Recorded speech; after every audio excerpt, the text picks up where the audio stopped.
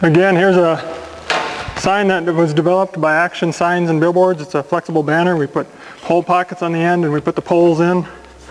And it's just a matter of putting it into the frame.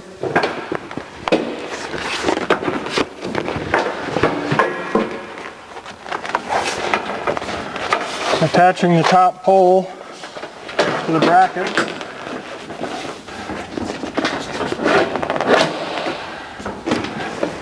And attaching the side poles.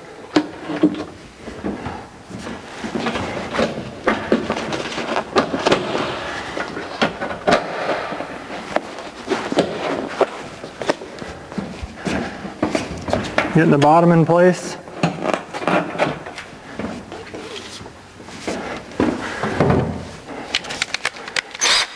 And taking our battery operated drill with a 5 30 seconds hex insert in there.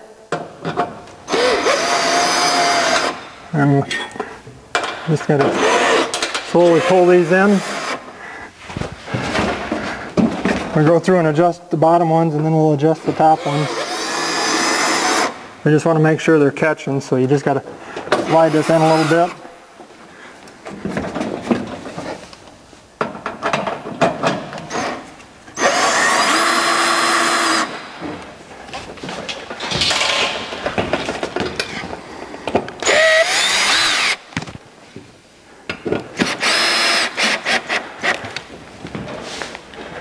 And we'll go through and snug up the top ones.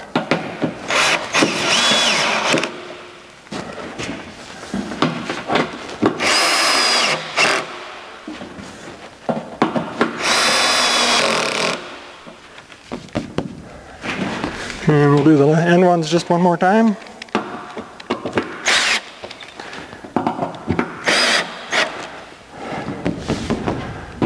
And that's all there is to it.